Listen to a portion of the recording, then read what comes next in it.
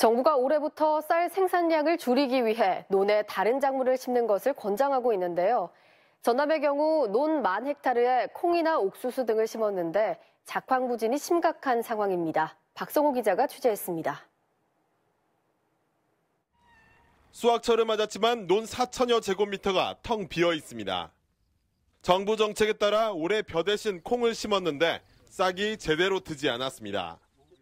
옥수수를 심은 인근의 다른 논도 사정은 비슷합니다. 농사를 망친 농민은 수확 대신 논을 갈아엎었습니다. 2년을 그 타작물 재배해라 이런 강제 옵션을 달아서 모두 하소연할 때도 없고 뭐 답답한 그런 상황이죠. 농림축산식품부는 쌀 수급 안정 대책으로 논에 다른 작물을 심는 농가에 보조금을 지급하는 논 타작물 재배 사업을 시행했습니다. 전남에서는 만 헥타르에서 타작물 재배가 이루어졌습니다.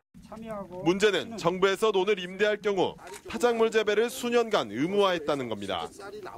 땅이 없는 농민들이 울며 겨자 먹기로 계약 조건을 받아들였는데 배수가 잘 되지 않아 작물이 제대로 크지 못했습니다.